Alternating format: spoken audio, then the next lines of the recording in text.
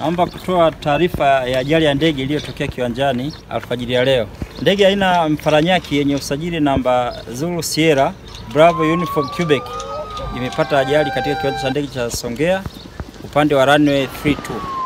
Ndege hiyo ilikuwa na jumla ya abiria 21, marubani wawili, wahudumu wa ndege wawili. Kati hawa abiria 21 waliofariki ni watano, waliopona ambao hawajajeruhiwa hata kidogo ni wawili, waliopata majeraha makubwa kwa ambao wanahitaji immediate care wapo sita.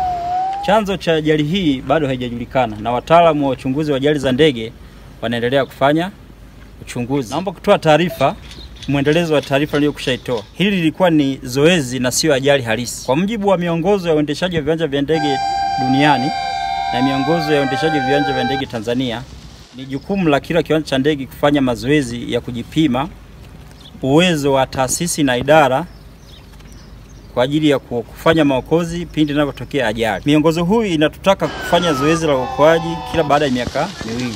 Hivyo tumefanya zoezi hili ili kuendana na sheria na miongozo iliyotaja hapo juu, ili ajali ya kweli ikitokea tuwe tayari kutoa huduma ya uokozi.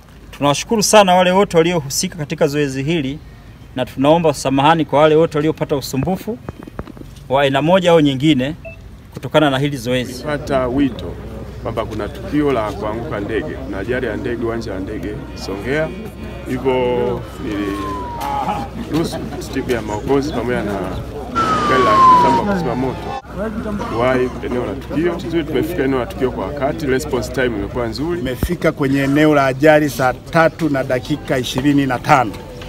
Kwa hiyo uone vikosi vyetu viko vina utayari wa aina gani. Mapokeo ya watu, moshi ulioibuka kutoka maeneo ya viwanja, jinsi ulivyoonekana kwenye maeneo ya makazi ya raia, yalileta mshtuko mkubwa sana, na kila mmoja alipokea kama ni ajali moja mbaya sana, ni ya ndege kulipuka.